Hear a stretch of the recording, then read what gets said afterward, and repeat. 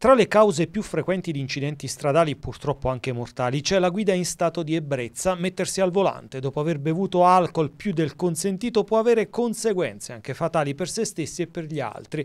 Così come guidare avendo il telefonino in mano per parlare o addirittura navigare su internet, rispondere a messaggi sui social perdendo di vista la strada, comportamenti errati ai quali si aggiungono il mancato rispetto della precedenza e la velocità troppo elevata.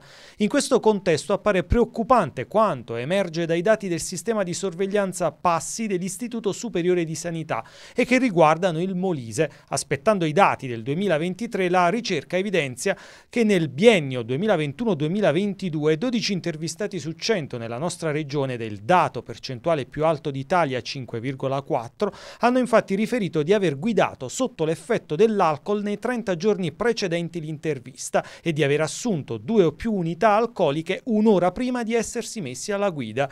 I dati nazionali indicano che la guida sotto l'effetto dell'alcol è più frequente nella fascia di età 25-34 anni, l'8%, soprattutto fra gli uomini. L'analisi mette in luce che le regioni più esposte al fenomeno sono quelle settentrionali, tuttavia come nel caso del Molise non mancano regioni del sud con percentuali alte di persone che hanno riferito di guidare dopo aver bevuto alcolici.